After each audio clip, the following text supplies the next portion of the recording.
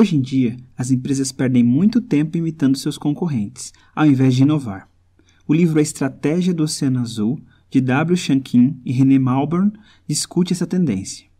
Para eles, os espaços de mercado conhecidos são como oceanos vermelhos, cheios de tubarões, onde as chances de lucrar são mínimas. O livro propõe que as organizações busquem oceanos azuis, onde o potencial de lucro e espaço para inovar são muito maiores. O objetivo da estratégia não é derrotar a concorrência, mas torná-la irrelevante. Um exemplo clássico desse movimento é o Cirque du Soleil, que em menos de 20 anos conseguiu atingir um nível de receita superior a todos os concorrentes centenários e num setor decadente.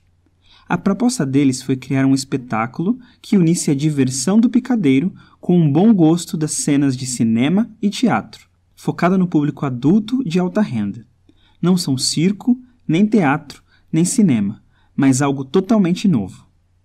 Ao eliminar números com animais e espetáculos simultâneos, conseguiram cortar custos e oferecer uma experiência diferenciada ao mesmo tempo, o que é possível apenas quando se cria um novo oceano azul. Essa é a verdadeira inovação de valor.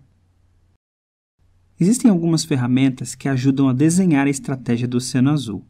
A primeira delas é a matriz de avaliação de valor, importante no diagnóstico da situação atual do mercado. O eixo horizontal mostra os critérios de competição, como preço, nível do atendimento, etc. O eixo vertical mede o grau de valor percebido pelos clientes em cada um desses critérios.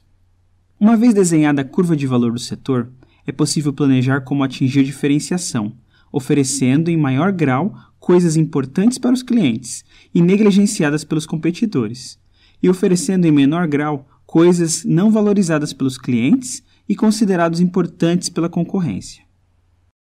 Outro instrumento é o modelo das quatro ações.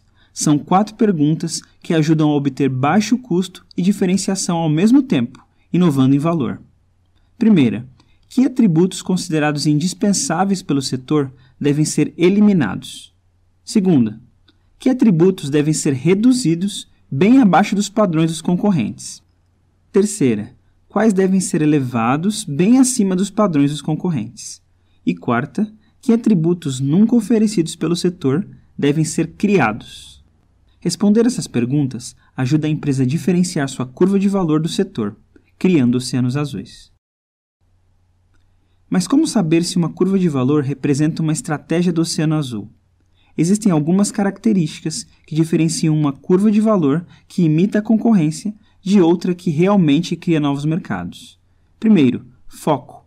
É preciso que mostre foco numa proposta e não uma estratégia que pretende oferecer tudo ao mesmo tempo. Segundo, singularidade.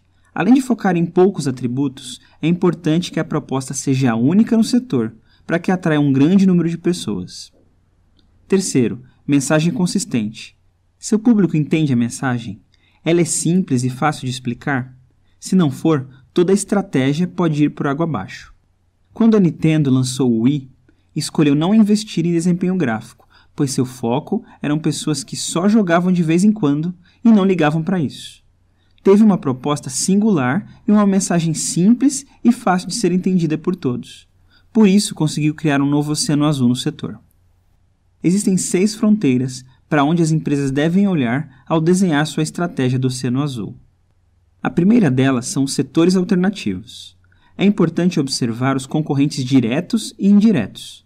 Quando o casal sai para se divertir à noite, pode optar por um cinema ou restaurante, que apesar de não serem do mesmo setor, naquele momento competem entre si. Entender o que faz uma pessoa escolher um ou outro é essencial e pode revelar grandes oportunidades. A segunda fronteira são os grupos estratégicos entre os setores empresas que adotam estratégias semelhantes dentro do mesmo setor. Em geral, um grupo foca em desempenho, cobrando por isso, e outro foca em preço baixo, oferecendo algo mais simples. Essa visão ajudou a Curves a surgir como uma academia para mulheres, focado em exercícios rápidos e simples. Nem uma academia tradicional, nem exercício em casa. Mesclaram o valor das duas propostas e fizeram muito sucesso. A outra fronteira é a cadeia de compradores. Em alguns negócios, a pessoa que compra é a mesma que consome, mas em outras não. Setores como o farmacêutico depende da opinião do médico, e quando se vai decorar uma casa, as recomendações do arquiteto pesam muito.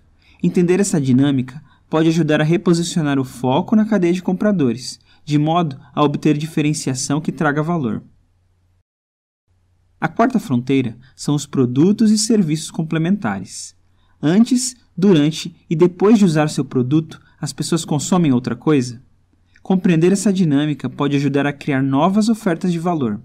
Por isso, os cinemas vendem pipoca e os shoppings oferecem estacionamentos. A quinta fronteira são os apelos práticos e emocionais dos compradores.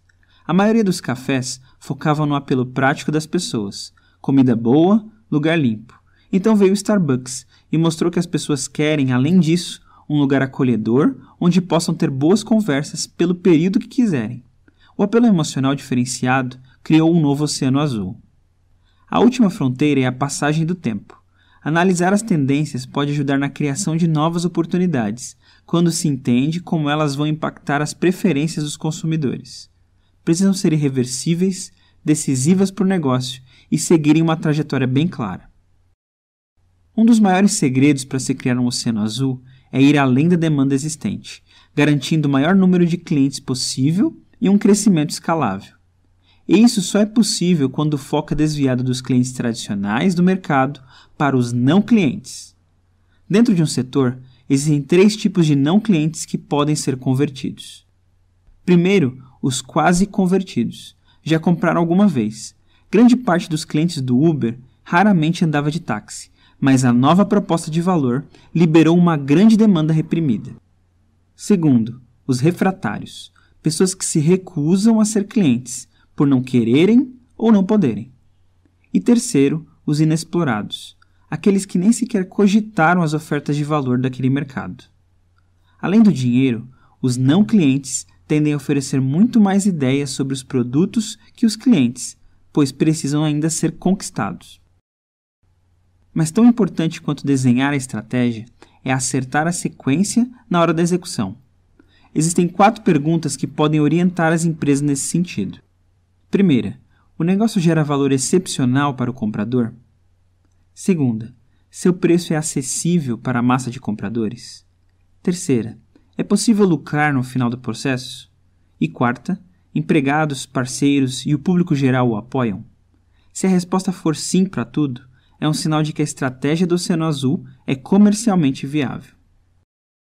Além da sequência, existem algumas barreiras que precisam ser superadas durante a execução da estratégia. A primeira delas é a barreira cognitiva.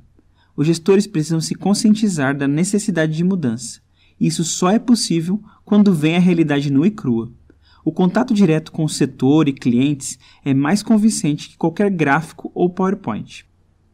A segunda barreira é a dos recursos. Toda estratégia exige dinheiro, e a melhor forma de conseguir é realocando verba de áreas que consomem muito, mas causam pouco impacto, para outras que consomem pouco, mas possuem alto potencial. A terceira barreira é motivar os envolvidos. O segredo aqui é focar nas pessoas mais influentes da empresa, pois, uma vez convencidas, têm o poder de motivar os demais. Eles precisam ser ouvidos e ter a devida visibilidade. O último obstáculo é o político. Toda mudança mexe com privilégios. Saiba em quem pode confiar e se concentre naqueles que têm a ganhar com as mudanças, pois os demais nunca o apoiarão. Líderes inteligentes envolvem seu time nas decisões, explicando os motivos e definindo com clareza as regras do jogo. A melhor forma de conseguir apoio e evitar a sabotagem é reconhecendo as pessoas pelo seu valor intelectual. Desenhe a estratégia e a monitore constantemente. Se dominar essa arte e for um bom gestor de pessoas, um oceano azul surgirá à sua frente. Um abraço e sucesso!